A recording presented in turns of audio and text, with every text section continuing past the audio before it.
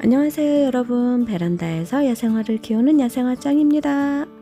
좋아요 구독 알림 설정해 주세요.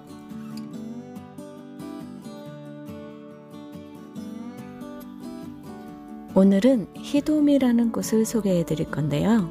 이 히도미 꽃은 여우 눈동자라고도 불리우는데 아, 히도미라고 유통이 되고 있어요. 여우 눈동자를 닮았나요? 음 저는 잘 모르겠는데 아무튼 여우 눈동자라고 이름이 지어진 데는 어, 이유가 있을 거예요.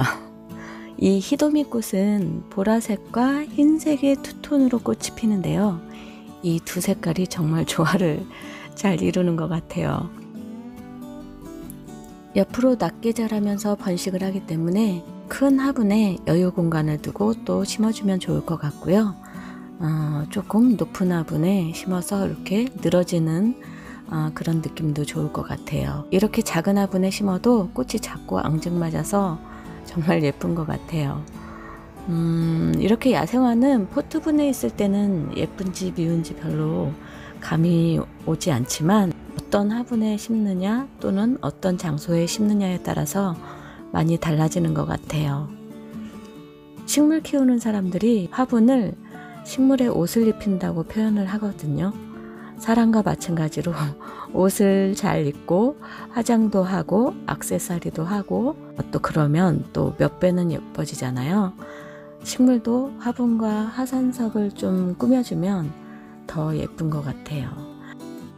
아은 사장님이 정말 아끼고 안 판다고 하는 이 화분을 졸고 졸라서 구매를 했는데요. 이 맷돌 모양이 이 히도미 꽃하고 정말 잘 어울리는 것 같아요. 보라색하고 흰색이 투톤이잖아요. 아, 요 느낌이 정말 잘 살아나서 조금 더 자라서 풍성해지고 요 모습을 보시면 이렇게 좀 늘어지는 성향이 있거든요. 봄부터 가을까지 피고지구를 반복하고 가을에는 단풍도 이렇게 들거든요. 단풍 든 모습도 볼 수 있고 가격도 착해요. 한 포트에 3,000원 정도 하는데 저는 이렇게 세 포트를 어, 심었고요. 또 작은 화분에 하나 심었는데 아 제가 이게 병인 것 같아요. 꼭 이렇게 작은 화분에도 하나 이렇게 크게 심으면 작은 화분에도 이렇게 하나 심고 싶은 마음이 자꾸 생겨서 아 이렇게 또 두 개가 되더라고요. 아 나중에 이거 하나를 이렇게 키우다가 또 더 넓은 화분에 이렇게 옮겨 심어도 좋을 것 같아요. 음, 요 아이는 가을까지는 단풍을 보다가 겨울에는 잎이 사그라져서 없어지거든요.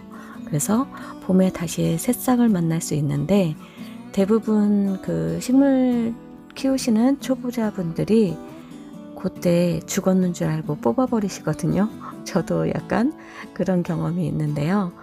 어, 식물을 키우면서 인내심이 필요한 것 같아요. 겨울에는 정말 볼품없이 빈 화분만 이렇게 덩그러니 남아 있는데 아 그러다가 또 봄에 새싹을 올리면 아, 더 예쁘거든요.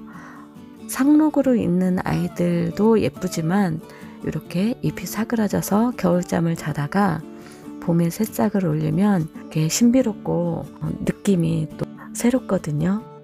이 아이도 웃자라면 별로 예쁘지가 않으니까 양지 바른 곳에서 통풍 잘 되는 곳에서 키우시면 좋을 것 같아요. 저는 오늘 히도미 소개해 드렸고요. 처음 오신 분들은 아, 구독 눌러주시고 전체 알람 설정해 주시면 어, 베란다에서 키울 수 있는 야생화 영상 계속 보실 수 있거든요.